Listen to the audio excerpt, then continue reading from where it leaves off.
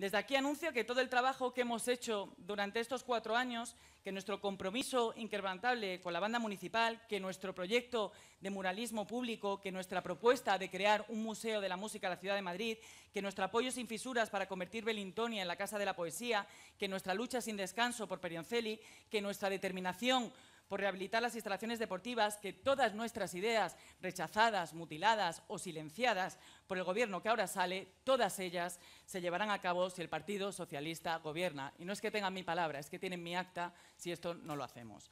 La gente, los vecinos, las personas son los que vertebran la política local. Ellos son el principio y el final de la acción política. Por eso elaboraremos un plan local de salud que sirva de base para alcanzar el reequilibrio sanitario de nuestra ciudad. Reforzaremos el Laboratorio de Salud Pública y la Escuela Municipal de Salud para que los cuerpos de seguridad del Ayuntamiento tengan mejor formación. Combatiremos la ludopatía y la adicción de manera contundente. Le daremos músculo a la Oficina Municipal de Información al Consumidor. Atajaremos el problema del ruido mediante un plan de acción y un mapa del ruido para que Madrid cumpla con las recomendaciones de la OMS. Esto es gobernar una ciudad. No se trata de sonreír y cocinar. Mejoraremos el actual sistema de seguridad mediante un plan estratégico.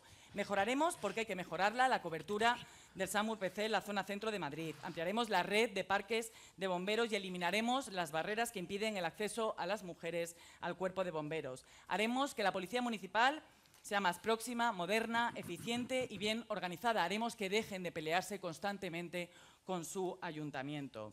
Crearemos una nueva oficina del Defensor de la Ciudadanía. En definitiva, que vamos en serio, muy en serio, porque nos importa Madrid.